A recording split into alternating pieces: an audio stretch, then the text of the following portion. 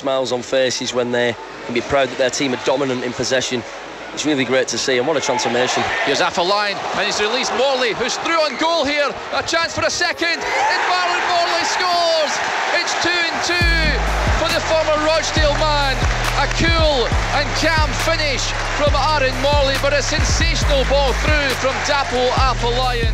One ball forward looking for Smith. He wins the header off of Aimson and falls to Sadlier. He knocks it back towards Dixon. Bit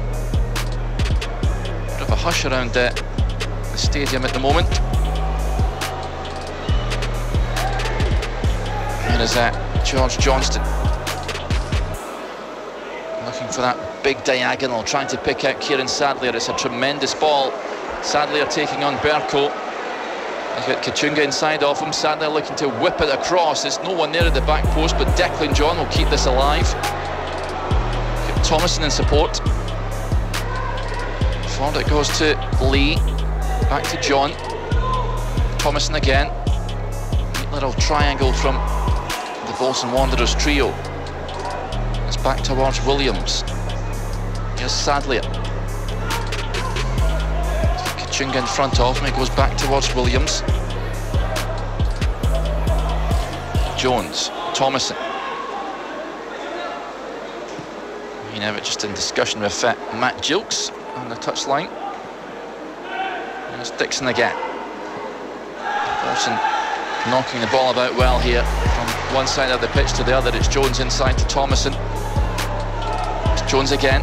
Sadlier now.